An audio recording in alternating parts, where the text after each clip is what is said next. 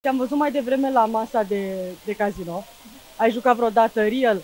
Când ai fost, nu știu, la Cannes sau în Vegas? Da, sigur că am jucat. Am jucat și aici și în alte țări, dar nu sunt o uh, mare pasionată de jocuri de noroc, pentru că nu sunt un om care, are, care își asumă foarte multe riscuri, uh, dar îmi face plăcere. Mi se pare amuzant. Ai câștigat vreodată o sumă mai considerabil, considerabilă de bani? De obicei câștig. Cred că de aia nici nu vreau să joc mai mult.